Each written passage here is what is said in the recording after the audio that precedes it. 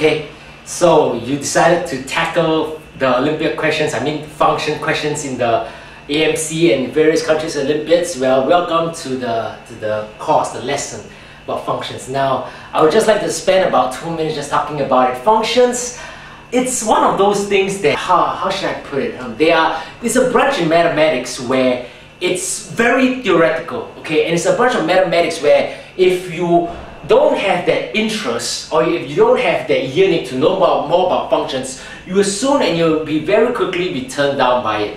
Why? Because at least for calculus, okay, you it can tell you to integrate a certain function and then you find you manage to find the integral or you differentiate and then you feel that sense of, of relief, that sense of achievement that at least you can integrate something.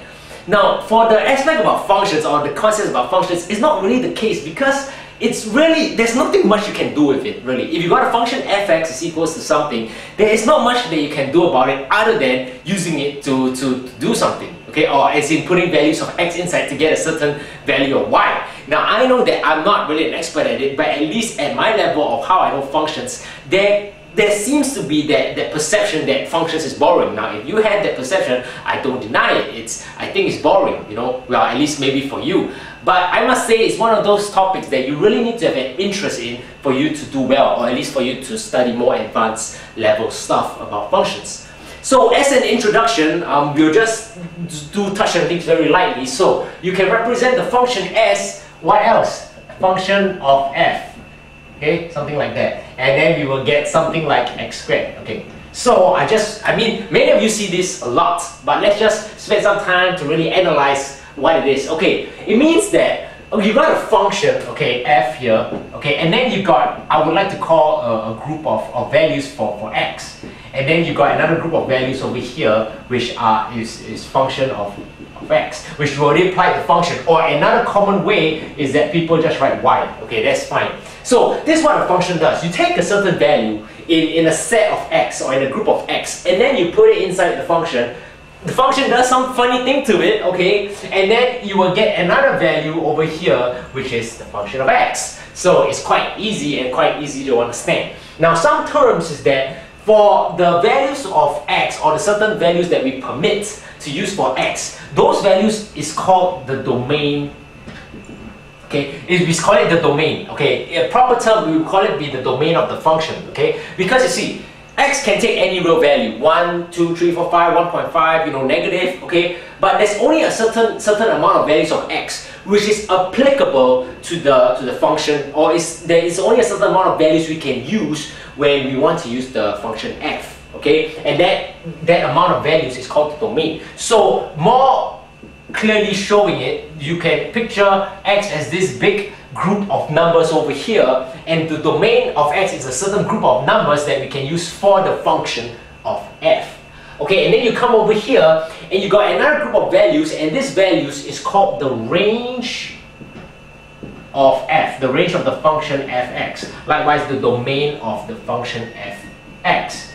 Okay, so whatever values you have in the domain, you apply the function and obviously you get another value and then that is expands the range. So you can only attend a certain amount of, of values from the domain of x, okay? And, and that is essentially what it means. You will, I will give you a graphical representation, or why don't I just show it to you now, okay? For example, we got a, a, a graph like that, okay?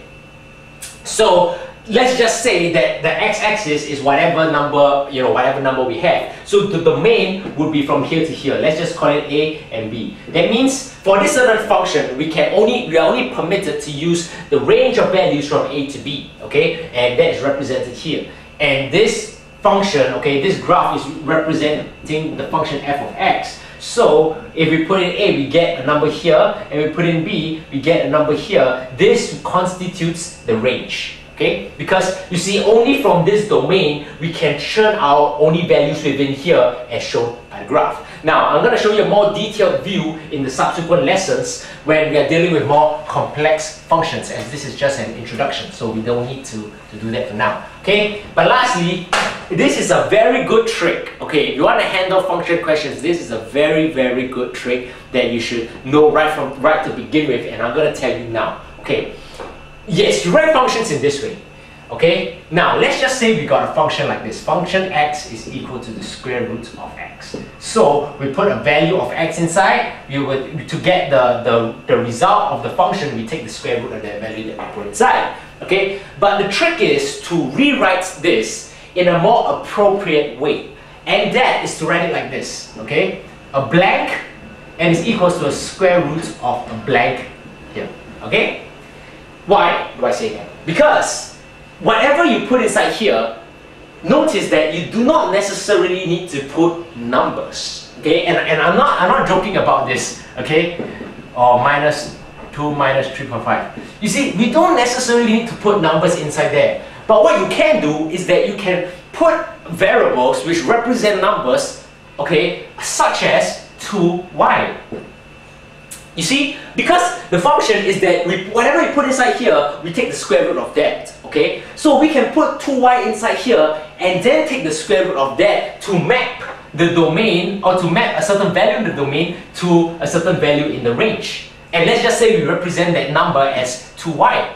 Okay? There is no there is no regulation that we cannot do that. Assuming of course that, that y is a certain real number, or at least y is a number. Now, I know that if you want me to reduce into more specific terms, 2y needs to be in the domain of the function x. Okay, but we need to work on that in the subsequent lessons. But I just want to just tell you now, at least as a start, there is no restriction that we cannot put variables inside here. Okay? That is why a good trick is to rewrite it as this way. The function of a certain blank is equal to the square root of that. I mean, whatever the function may be. So if you got function of x is equals to x squared, you can rewrite it as the function of a blank is equals to that blank squared. And there you go, an introduction of functions and I hope you enjoy the lessons. Okay?